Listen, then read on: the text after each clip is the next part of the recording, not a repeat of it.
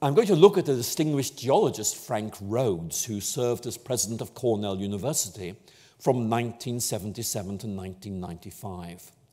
And he made this point about multiple levels using the analogy of a boiling kettle. And he asked us to imagine a kettle on a gas ring, and the kettle is boiling. And here is his question Why is the kettle boiling? And Rhodes notes that two different types of explanation might be given at different levels. At the scientific level, energy is being supplied. The gas is burning, it uh, exudes heat, it raises the temperature of the water to its boiling point, and that is unquestionably an explanation. Yet Rhodes makes the point there is another answer which can be given, and it's at a very different level. He writes, The kettle is boiling because I put it on to make a cup of tea.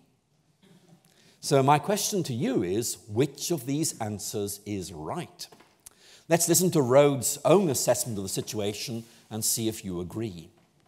Now, these, i.e., gas burning, wanting a cup of tea, are different answers, but both are true. Both are complementary and not competitive. One answer is appropriate within a particular frame of reference, the other within another frame of reference. There's a sense in which each is incomplete without the other. Now, Rhodes' basic point is that both answers can be right because they are concerned with different levels of reality. He affirms what he calls a complementarity of description, which tries to capture at least something of the total picture of reality. So, just to make this point one more time gas is burning. Is that right as an explanation? Yes, it is. But does that being right mean the second explanation, wanting a cup of tea, is wrong?